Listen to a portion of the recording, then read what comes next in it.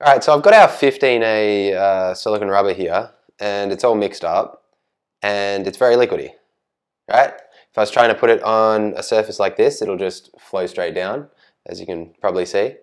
And of course, this sets into a nice sort of flexible rubber. How do we go about molding a, a vertical surface like this? SiliThix. This is our uh, thixotropic agent. You can imagine it uh, a bit like a corn flour that you'd put into a sauce or like a curry or something to thicken it up. This does exactly the same, same thing. And so you can add up to about 3% by weight.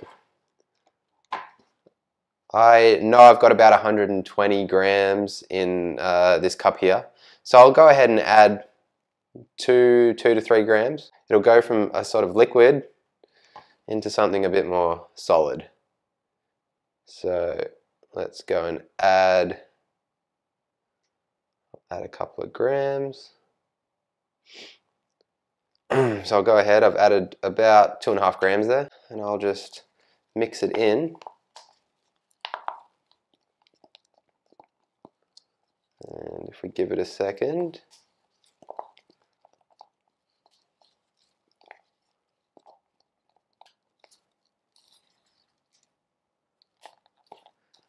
I can start to feel it now.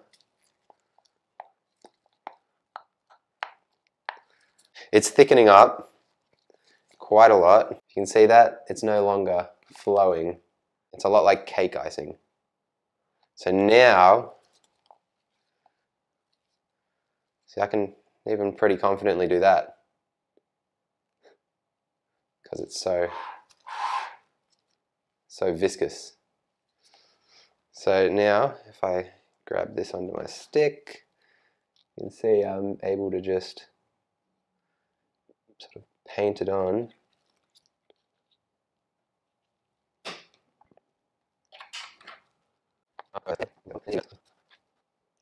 And it cures just like it did before, so it'll be ready to demold in six to eight hours. And yeah, it's a lot like icing a cake.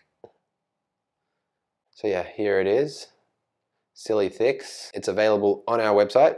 Come try it out today.